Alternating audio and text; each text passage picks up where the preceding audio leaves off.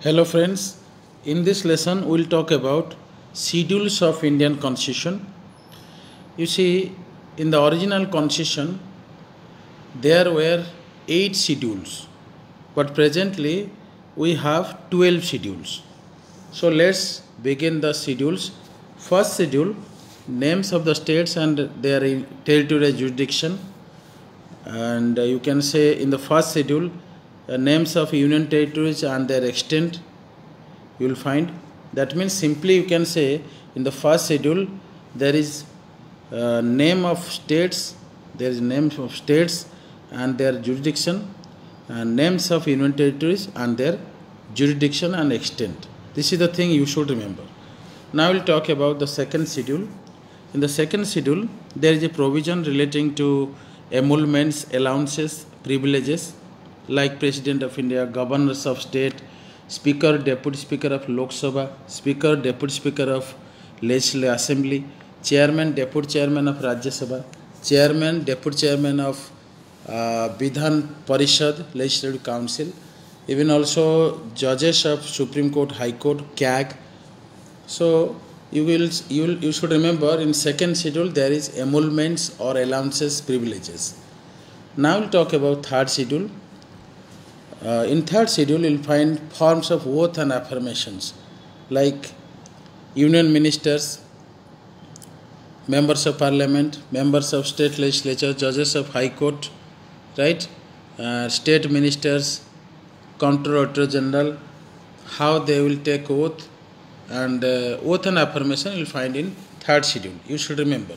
The first schedule is uh, about your uh, names of states, union territories, their extent. Second schedule, allowances, privileges. In third schedule, there is oath.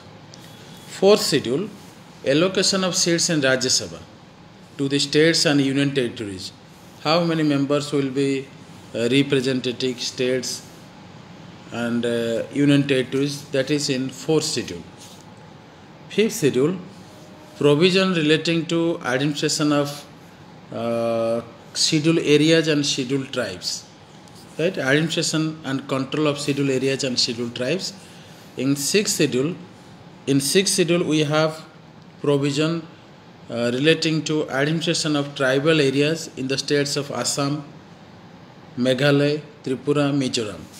So in Assam, Meghalaya, Tripura and Mizoram, how the tribal areas will be administered that is mentioned in sixth schedule seventh schedule so in seventh schedule you will find list. That means you can say division of powers between union and states in the in terms of list. There are three lists. Union list 100 items. Originally 97 items. State list 61 items. Originally 66 items. Concurrent list 52 items. Originally 47 items let's discuss uh, about union list. Actually in a union list center has exclusive power to make laws and in state list state has exclusive power. However in case of concurrent list both center and state they have power to make laws. This is the thing you have to remember. Now we'll talk about eighth schedule. In eighth schedule there is language. Originally we had 14 languages now we have 22 scheduled languages. So question may be asked. So you should remember this. In each schedule there is language. You see suppose we had 14 languages. How it became 22 languages? You see in uh, 1967 by 21st amendment sindhi was added. Sindhi as a language was added. So 14 plus 1 15 Again in 1992, in 1992, under 71st Amendment, Konkani, Manipuri, Nepali, three languages were added. So 15 plus 3, 18. Again in uh, 2003, 92nd Amendment, 2003, four more languages were added. Like you can say Maithili, Bodo, Dogri, and Santali. So 18 plus 4, 22 so we have 22 scheduled languages till the date so we have discussed eight schedules originally indian constitution had eight schedules Now we'll talk how other four schedules were added. You see, ninth schedule was added by first amendment in 1951. Ninth schedule deals land reforms and abolition of jamidari system. Right. Now 10th schedule. 10th schedule related to uh, grounds of defection. That means you can say which is popularly known as anti-defection law. 10th schedule was added by 52nd Amendment Act 1985 and it's related to anti-defection law or you can say simply uh, how the members of parliament and state legislature can be disqualified. There is a provision in 10th schedule. Now we'll talk about the 11th schedule. In 11th schedule there is Panchayat Raj.